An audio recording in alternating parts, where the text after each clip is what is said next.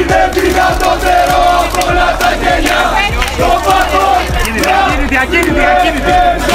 ακίνητη, ακίνητη, παιδιά. Ας φέρω. όλα τα γένια.